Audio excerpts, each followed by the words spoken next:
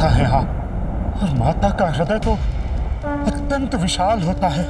अपने संतान की अनेक भूलों को भी क्षमा कर देता है। तो आज अपने पुत्र के नामकरण संस्कार के दिवस, क्या आप मुझे क्षमादान नहीं देंगी, माते?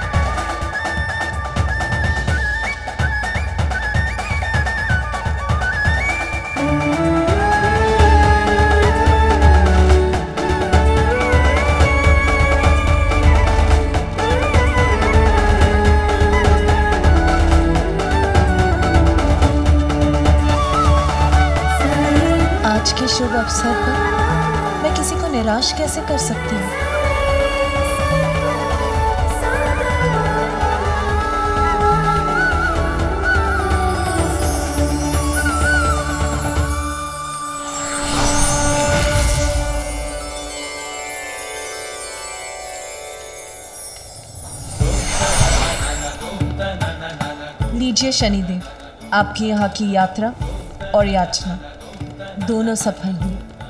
मैंने आपको क्षमा किया मेरा पाँव पुनः कुशल हो गया। अब कोई पीड़ा नहीं है मुझे।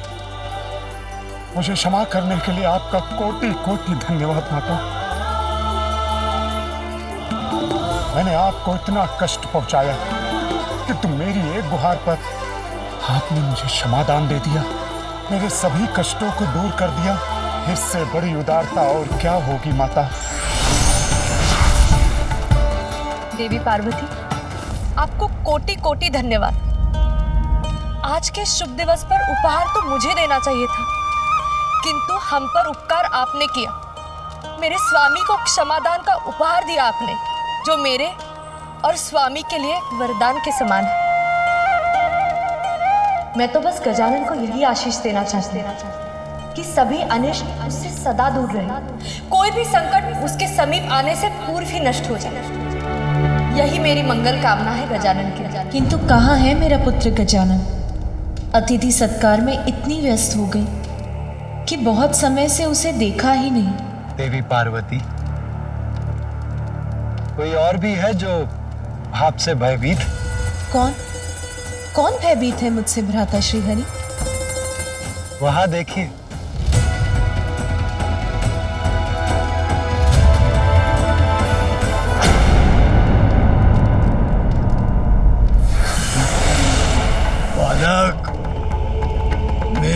बात सुनो और स्वीकार करो।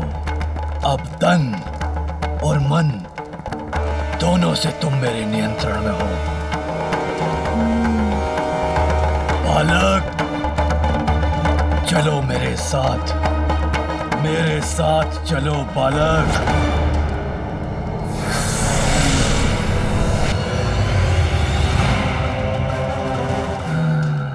उचित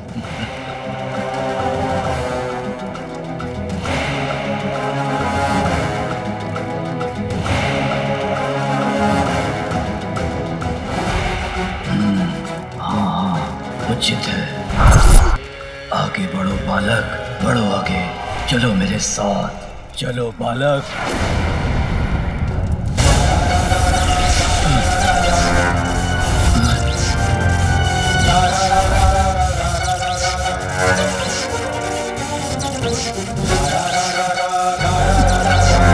अरे, ये कौन सी शक्ति ने मुझे जकड़ कर जड़ कर दिया है?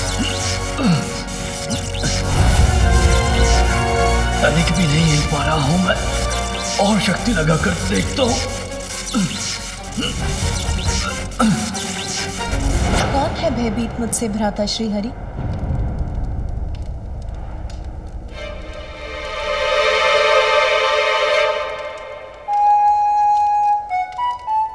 भ्राता नारायण?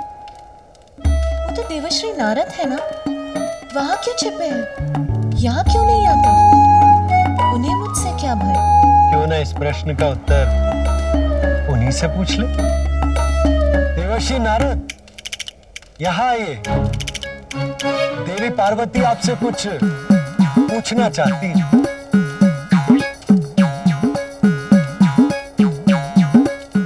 नारायण कहाँ फंसा दिया आपने मुझे?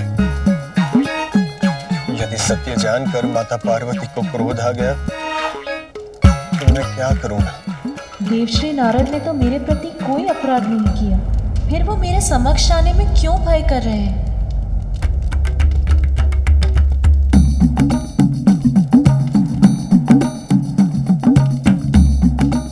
देवर्षि आपके मन में जो भी विचार निसंकोच होकर देवी पार्वती से कहिए।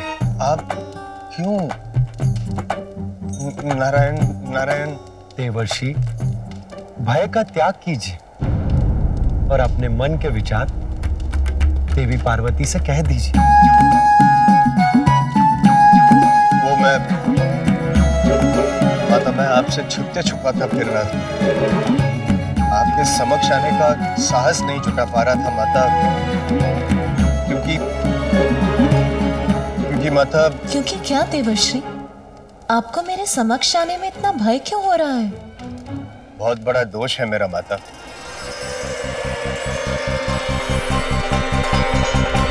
अब एक समय तक देखने का काम दे रहा है सुझाव क्षण भर के लिए देख लीजिए, यही है नारद का भाव। क्षणिक देख के घुमा लीजिएगा अपनी दृष्टि।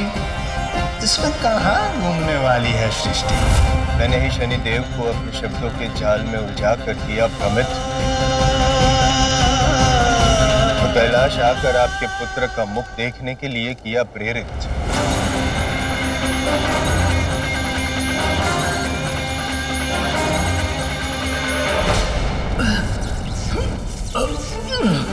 अपना पाँव तक नहीं उठा पा रहा हूँ मैं। क्या करूँ अब? हाँ हाँ उचित है उचित है उचित है। ये तो स्वर मेरा था, किंतु मैंने तो कुछ कहा भी नहीं। मेरे स्वर में मेरे शब्द मेरे मस्तिष्क में कौन दौड़ा रहा है? कौन बुन रहा है ये माया जाल उचित है, सर्वथा उचित है। सुनो मेरी बात। ये किस अदृश्य शक्ति ने घेरा है मुझे, जिससे मैं अपनी संपूर्ण शक्ति लगाकर भी भेद नहीं पा रहा हूँ? जिसने मुझे यहाँ जड़ बनाकर अपने ही शब्दों की गूंज को सुनने के लिए विवश कर रखा है।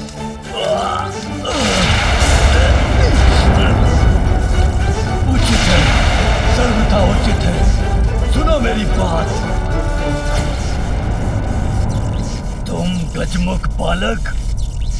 ये क्या कर रहे हो मेरे साथ? हाँ हाँ उचित है, सर्वथा उचित है। मैं क्या कर रहा हूँ? मुझे तो लगा कि आप कहीं जा रहे हैं। ये कोलाहल, ये शोर, ये स्वर तुम्हें सुनाई नहीं दे रहा, बालक। बंद करवाओ इसे। बंद करवा दो। ये सब हमारे अतिथि हैं। और अतिथि तो देवता समान होते हैं। और जब देवता ही अतिथि है, उनका तो और भी आदर करना चाहिए ना? तो मैं उन्हें वार्तालाप करने से और हंसने से कैसे रोक सकता हूँ? किंतु मैं इस उत्सव के स्वरों को शांत नहीं करा सकता। उचित है। सर्वथा उचित है।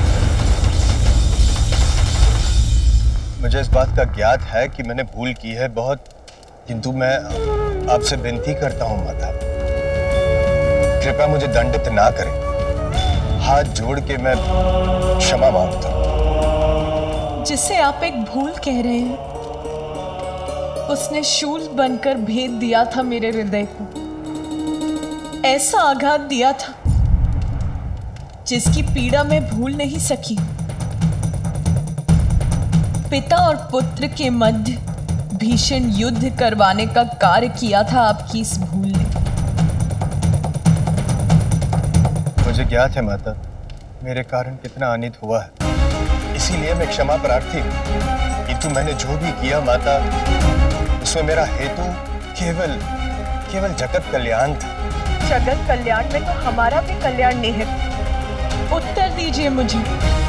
आपके इस कृत्य से जो कष्ट हमें पहुँचा उसके लिए कौन उत्तरदायी मैं किंतु मैं वो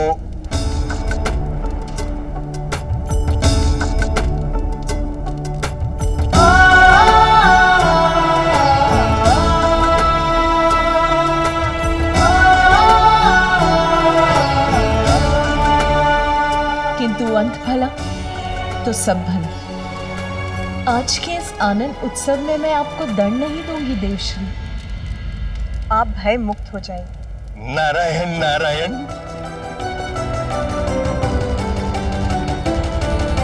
किंतु प्रत्येक क्रिया की प्रतिक्रिया अवश्य होती है। ये मत भूलिए देवश्री व्यक्ति का कोई भी कर्म उसकी कोई भी भूल नियति कभी नहीं भूलती। अपने कर्मों का परिणाम तो सभी को भुगतना होता है देवश्री आपकी इस भूल के कारण एक समय ऐसा आएगा जब आप भी अपने पिता ब्रह्मदेव का विरोध करेंगे। और अपने पिता के विरोध जाना आपके लिए शुभ नहीं होगा देवश्री मैं आपको दंडित नहीं करूँगी किंतु नियति न्याय अवश्य करती है और ये नियति का न्याय होगा। हे माता कृपया बताएँ मुझे कि क्या होगा, कैसे होगा? यदि आप मुझे इस बात का संकेत दे देती तो मैं सावधान हो जाता, माता। नियति का न्याय निर्धारित होता। है इतना तो जानते हैं ना आप देवश्री जो भी होगा, भयंकर होगा। किंतु वो आपके समक्ष समय आने पर ही आए।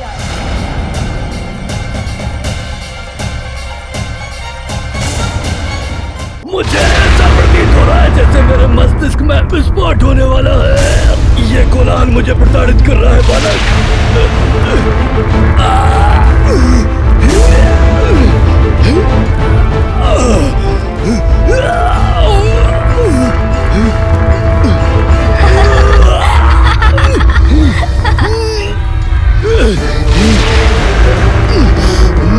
अवश्य दिव्य है ये बालक और अनेक दिव्य शक्तियों का स्वामी है। किंतु इसे इसका भान भी नहीं।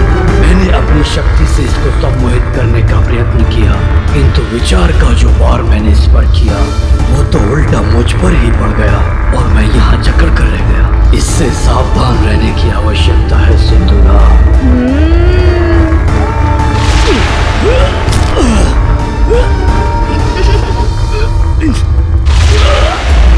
मुझ पर दया करो। अरे ये आप क्या कर रहे हैं? देखिए ये क्रीड़ा मुझे नहीं भा रही है। आप गिर क्यों गए मेरे समक्ष? ऐसा क्यों कह रहे हैं? जैसे मैंने आपको कुछ किया हो मैंने तो कुछ भी नहीं किया। आप ही गिर गए यहाँ और ऐसे चित्कार कर रहे हैं। ये स्वर जो मेरे मस्तिष्क के भीतर गूंज रहे हैं मेरे सिर के टुकड़े टुकड़े कर देंगे ये। अंत कर देंगे मेरा। इन्हें रोक दो। ओह, तो आपके मस्तिष्क में कुछ है जिससे आप इतने विचलित हो रहे हैं। कोई बात नहीं मैं अभी निकाल देता हूँ उसे। सुन जी आइए इनकी पीड़ा दूर करते हैं।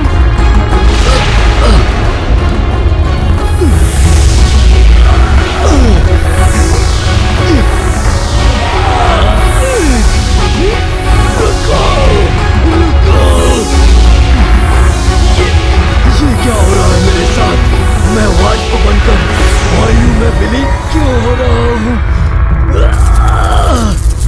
अरे सोनजी के ऊपर ये मक्खी कहाँ से आ गई?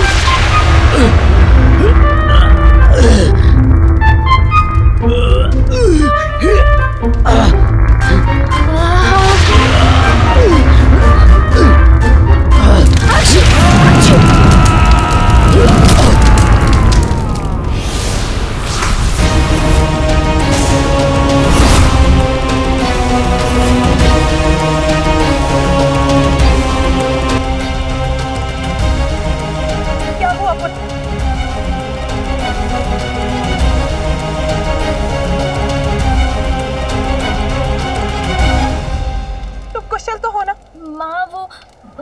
मुझे क्षमा?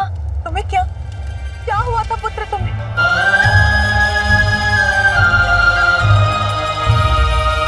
माँ अब व्यर्थ चिंता कर रही है। मुझे तो कुछ नहीं हुआ।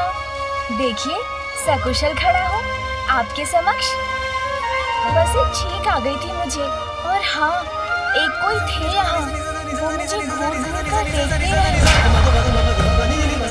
फिर उनके सर में पीड़ा उठ गई। मैंने सहायता करने का प्रयत्न किया, किंतु छींक आ गई। फिर तो उनका रूप ही परिवर्तित हो गया, माँ। ऐसा प्रतीत हुआ उन्हें देखकर, जैसे वो कोई भयंकर असुर हो।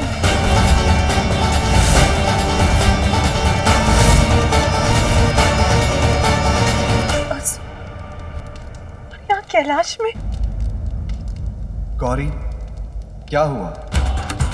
गजानन कुशल तो है। स्वामी एक असुर था यहाँ और हम उसे पहचान नहीं सके। गजानन पर घात लगाए बैठा था। कौन हो सकता है वो असुर स्वामी?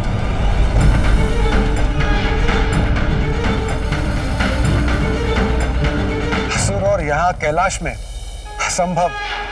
ये मात्र इस बालक की कल्पना से अधिक और और कुछ भी नहीं है। देवी पार्वती। आप चिंता मत कीजिए। वो जो भी था अब चला गया है।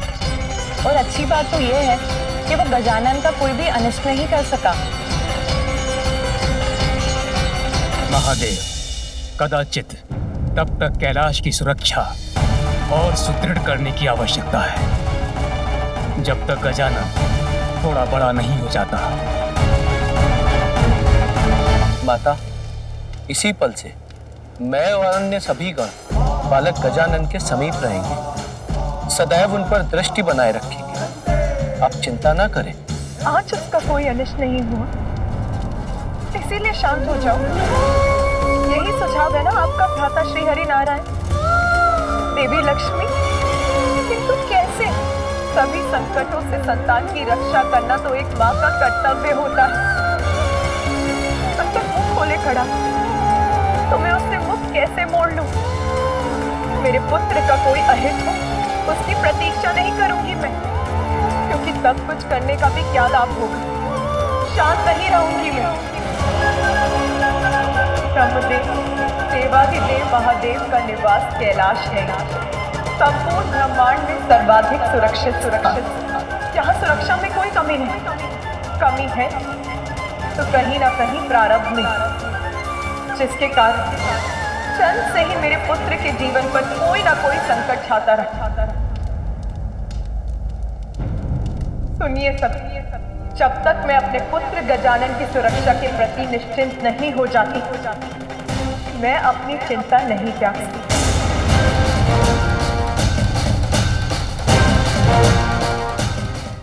चंद के कुछ समय पश्चात, स्वयं उसके पिता महादेव के त्रिशूल ने उसके शीश को उसके तन से विलग दिया। फिर उसे नवीन शीश, एक गज का ही मिल सका। और आज, यहाँ आप सभी की उपस्थिति में एक असुर ने यहाँ आकर मेरे पुत्र पर घात लगाने का साहस किया। तो फिर भविष्य में कौन सा अज्ञात संकट, किस रूप में उस पर टूटेगा, ये किसे ज्ञात माता, जो भूतकाल में हो चुका है उसका विचार कर स्वयं को कष्ट देना उचित नहीं। और जो हो ही नहीं सकता, उसकी कल्पना कर, उसकी चिंता करना और भी कष्टदायक हो सकता है। माता इस सुर सभा में किसी असुर का प्रवेश करना असंभव और हमारे पास यहाँ किसी असुर के होने का प्रमाण भी नहीं। इसलिए संभव है कि इस बालक ने अपनी कल्पना से कोई गल्प कर लिया।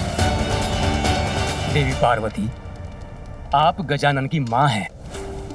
आपका उनके लिए चिंतित होना स्वाभाविक है। किंतु आप हम पर विश्वास कीजिए। हम सभी गजानन की सुरक्षा का ध्यान रखेंगे। उनके साथ कुछ भी अनिष्ट नहीं होगा। भूतकाल में काल के प्रकोप को भूलने की बात कर रहे हैं, देवरा है, देवरा। प्रमाण चाहिए आपको। देखिए गजानन का गजन का गजन और स्मरण कीजिए। ये उसे किस लिए देना पड़ा? ठहर जाइए किसी को भी भीतर जाने की अनुमति नहीं है।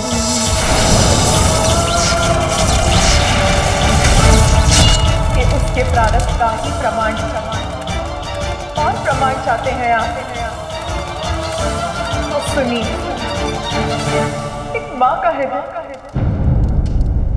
अपनी संतान पर आए छोटे से छोटे संकट को भी भाप लेता है। आशंका निराधार नहीं। मैं उसकी सुरक्षा के प्रति अस्वस्थ नहीं हूँ ब्रह्मदेव हमें उसकी सुरक्षा के प्रति कुछ और करना ही होगा। देवी पार्वती तो फिर आप क्या चाहती हैं? ये स्पष्ट कीजिए।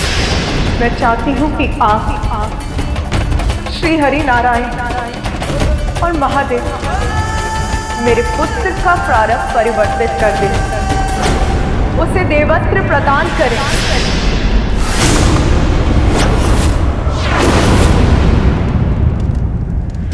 क्षमा करें माता। किंतु मैं आपका ये प्रस्ताव समझने में असमर्थ हूँ। क्या केवल भोलेनाथ और आपके पुत्र होने मात्र। होने मात्र गजानन को हम देवता के पद पर स्थापित कर स्थापित करते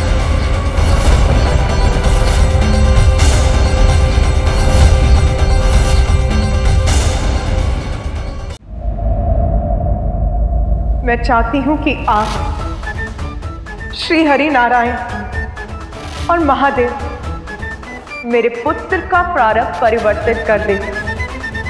उसे देवत्र प्रदान करें।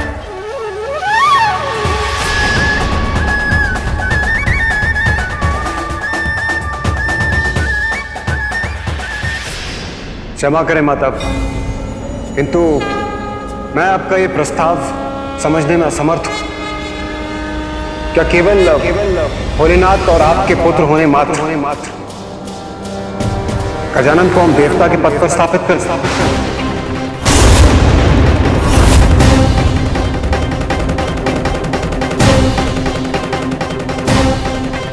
देवराज, उसे देवत्व प्रदान कीजिए, क्योंकि उसमें ही गजानन की सुरक्षा निहित है।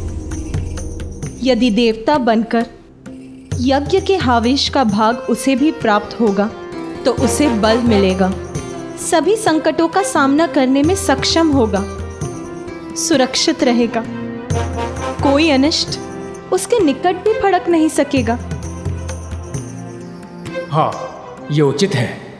गजानन को देवत्व प्रदान करके हम उनकी सुरक्षा को सुनिश्चित कर सकते हैं।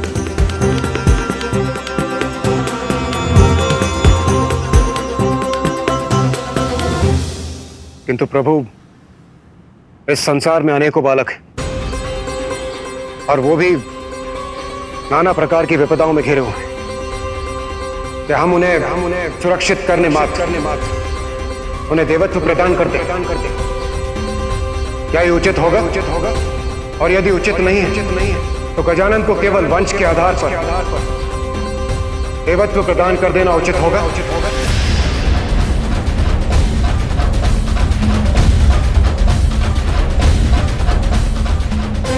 मात्र माता पार्वती और भोलेनाथ का पुत्र होने कारण हम उन्हें वो पद प्रदान करते जिस पद की योग्यता प्रमाणित करने के लिए उन्होंने अब तक कुछ भी नहीं किया। जिस पद के दायित्वों की उन्हें कोई समझ नहीं। समझ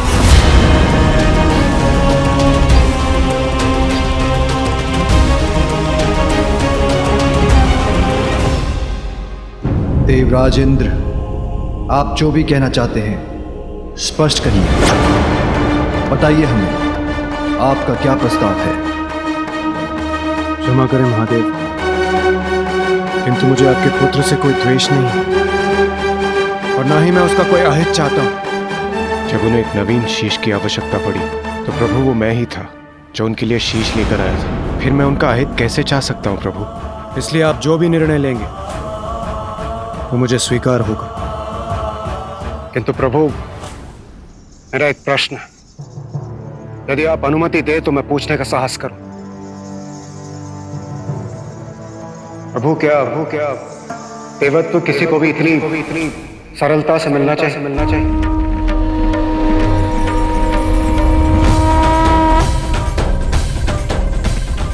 देवत्व प्राप्त करने का एकमात्र कारण योग्यता प्रमाणित करने वाला कर्म होना चाहिए होना चाहिए। जन्म नहीं जन्म नहीं।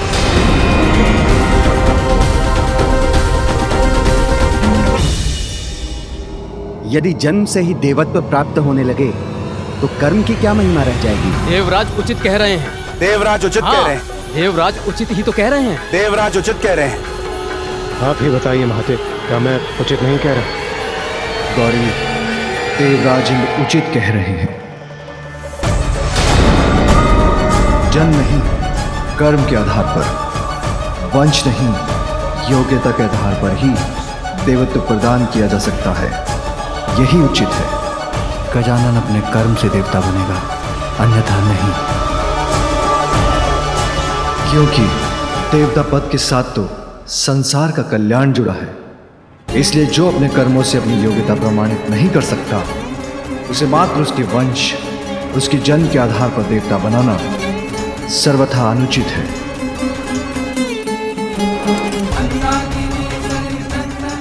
पार्वती माँ है।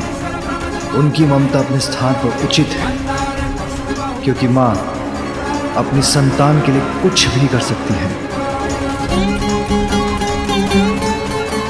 किंतु हम देवता हैं, और पार्वती और मैं तो त्रिदेवों में सम्मिलित हैं। इसलिए हमारा दायित्व तो अन्य सभी देवताओं से बढ़कर है। दायित्व कर्तव्य के आगे निजी संबंध और निस्वार्थ का कोई मूल्य नहीं होता। इसलिए समय के साथ साथ मेरा पुत्र गजानन अपनी योग्यता प्रमाणित करेगा, तभी उसे देवत्व प्रदान किया जाएगा। अन्यथा नहीं।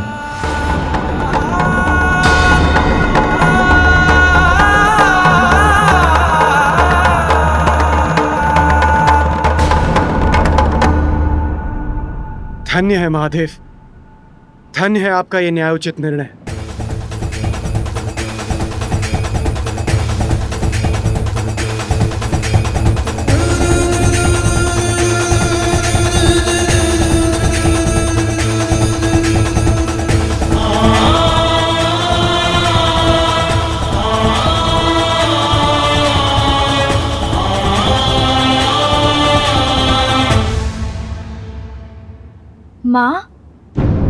मुझे भूख लगी है। मैं बहुत भूखा हूँ माँ। अब क्या मैं कुछ भोजन कर सकता हूँ?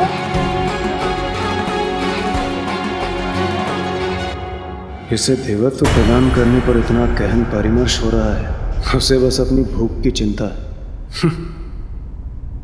माँ मुझे भोजन करने की अनुमति दीजिए ना। अब मुझसे भूख सहन नहीं हो रही। हाँ पुत्र। मैं तुम्हें अवश्य भोजन कराऊँगी। माँ के पल्लू से चिपकाए बालक। देवता बनने योग्य तो कदापि नहीं। के नंदन भी भोले भाले, राग द्वेष व्यर्थ ना मन में पाले। माता के आंचल को पाके प्रसन्न, भोजन में क्रीड़ा में रहते मगन। क्या है देवत्व वो अनभिज्ञ है? माता के नेह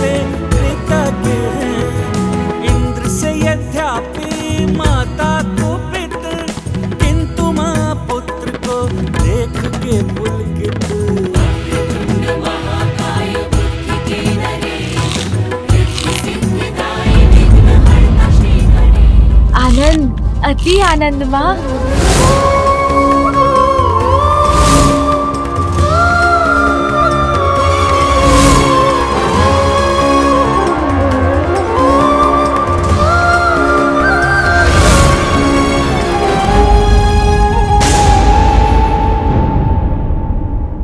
देवत्व प्राप्त करने का एकमात्र कारण योग्यता प्रमाणित करने वाला कर्म होना चाहिए। और हाँ एक कोई थे यहाँ। ऐसा प्रतीत हुआ उन्हें देखकर जैसे वो कोई भयंकर असुर हो। देवराज इंद्र उचित कह रहे उचित। यदि यही निर्णय है आप सभी का तो यही उचित। देवराज उचित और अनुचित योग्यता और अयोग्यता की बातें करते ये जानते हुए भी कि मेरे पुत्र ने इतनी कम आयु में इतने विशाल संकटों का सामना किया।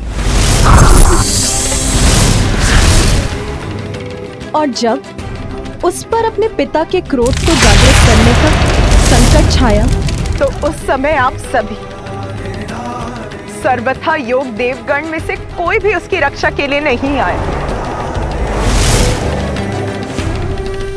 उचित तो ये होता देवराज कि आप उससे संघर्ष करने के स्थान पर उसे समझाने का प्रयत्न करते क्योंकि तो वो तो एक अयोग्य बालक है। और आप सभी योग्यताओं से परिपूर्ण देवराज इंद्र। किंतु माता वो किंतु परंतु नहीं देवराज। उचित तो ये होता कि आप उसकी सुरक्षा का उत्तरदायित्व तो निभाते। पूर्व में उसके संहार का कारण बने थे आप। और अब उसका तिरस्कार कर रहे हैं। क्या ये उचित है?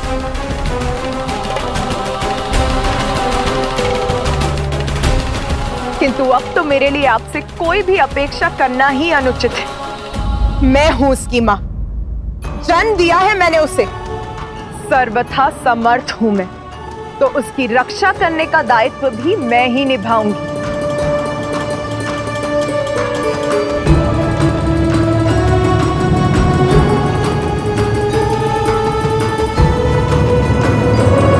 योग्यता और संस्कार जन्म से नहीं आते, कर्म से उन्हें प्राप्त करना होता है।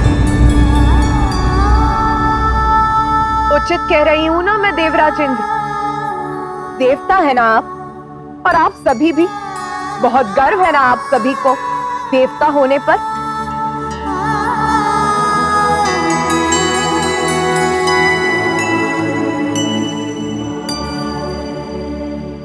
संस्कार। और योग्यता उचित और अनुचित के भेद बता रहे हैं ना?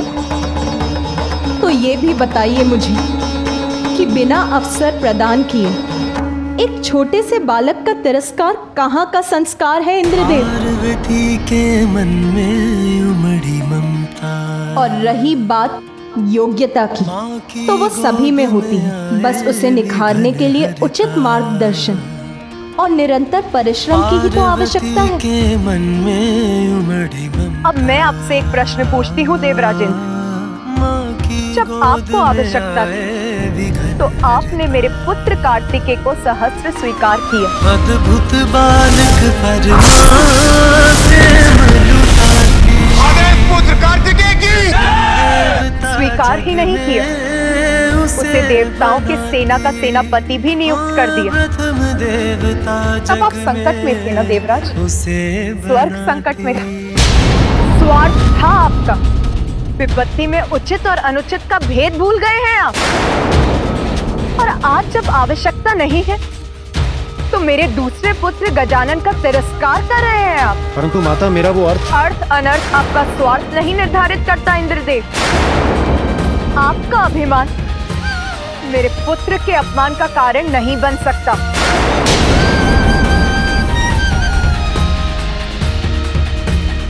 सुनिए सभी, मैं महादेव की अर्धांगिनी, गजानन की माता।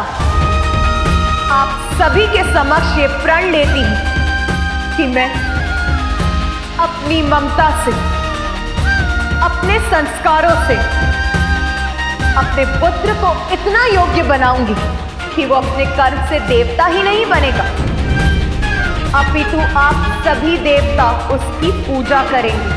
सभी देवता उसकी पूजा करेंगे। आप सभी देवता उसकी पूजा करेंगे। और ये योग्यता वो प्राप्त करेगा अपने जल से नहीं, अपने कर्म से। मेरा पुत्र गजानन प्रथम पूज्य बनेगा। प्रथम पूज्य बनेगा। प्रथम पूज्य बनेगा।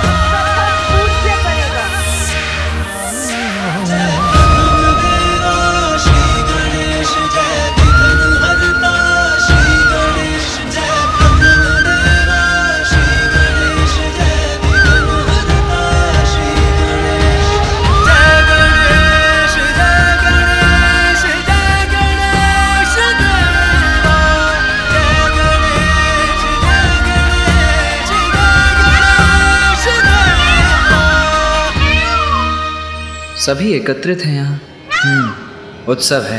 तो फिर माता का व्याकुल स्वर मेरे कानों को क्यों भेद महादेव प्रणाम। अब हमें जाने की अनुमति दीजिए।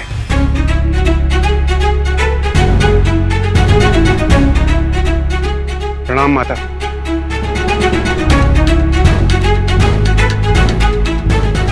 गजमुख गजानन महादेव और माता पार्वती के पुत्र होता हूँ और ये तुम्हारा सौभाग्य। है उसी में संतुष्ट हो देवत्व प्राप्त करने के योग्य नहीं होता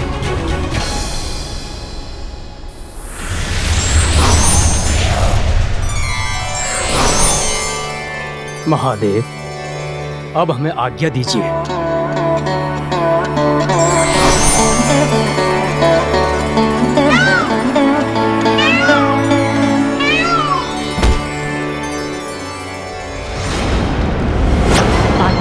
स्वामिनी सिंगिका।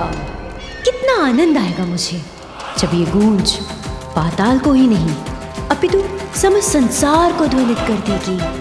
आह, मेरा राज मुकुट है ये। और ये सिंहासन भी पाताल की सर्वे सर्वा असुरों की रानी हूँ मैं।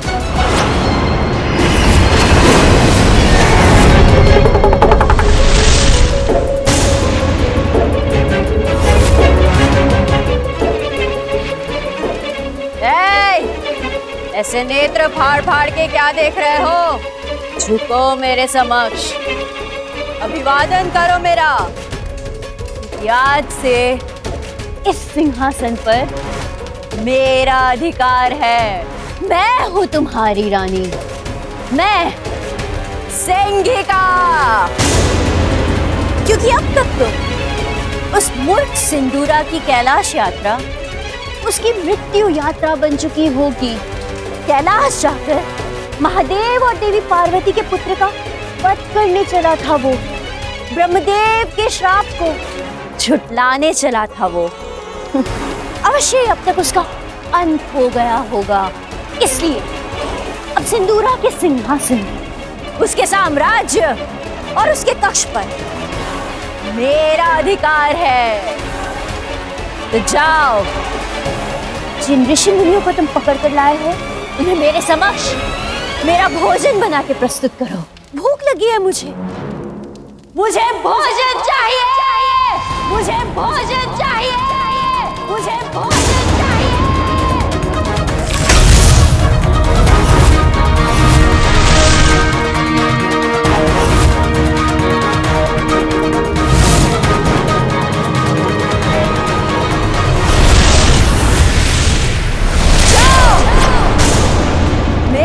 आदेश का पालन करो।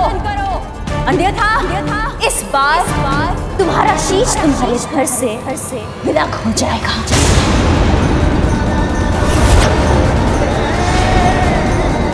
स्वामी कुछ अनुचित तो नहीं कहा ना मैंने।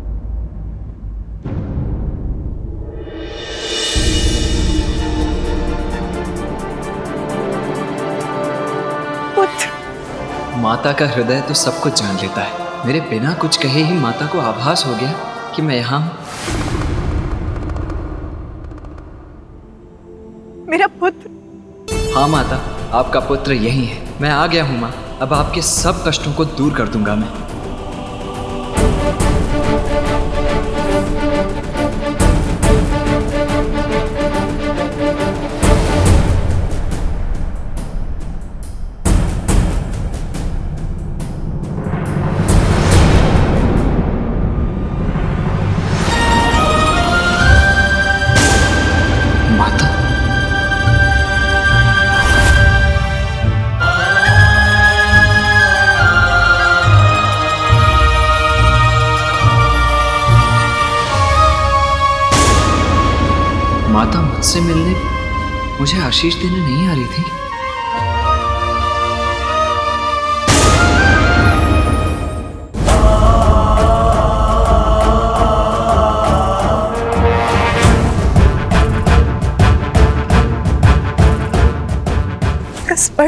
कर सके।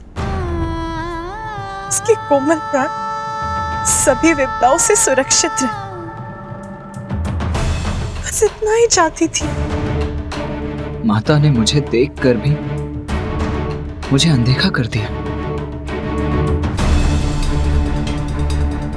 कौन है ये जिसे माँ अपना पुत्र बुला रही है? तो क्या कुछ अधिक मांग लिया मैंने? जो किसी ने भी मेरा समर्थन नहीं किया, मेरे प्रस्ताव को अस्वीकार कर दिया मेरे पुत्र का उपहास किया, तिरस्कार किया उसका।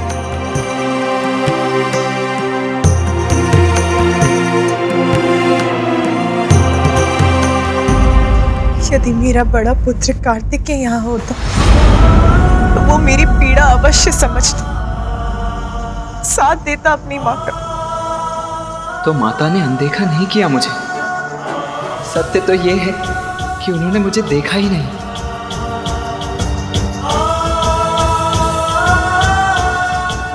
माता।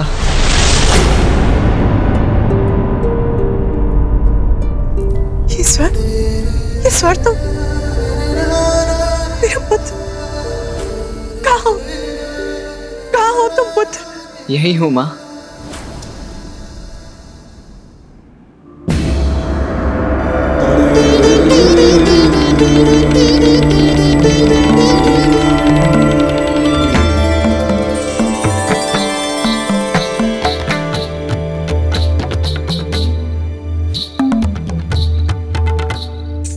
प्रणाम माता।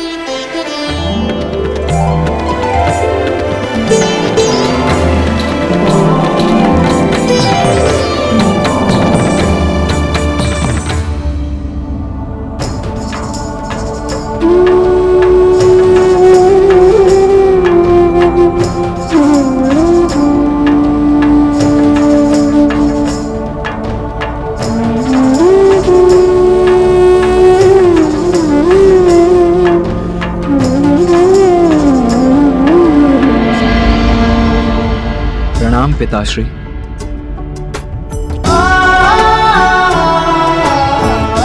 आयुष्मान भव।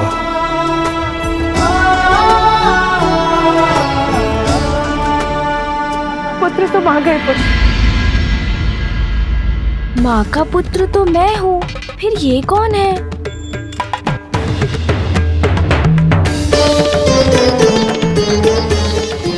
ये विचित्र कचमुख बालक कौन है? और ये मेरे और माता के मध्य क्यों है? इसका हमारे परिवार से क्या संबंध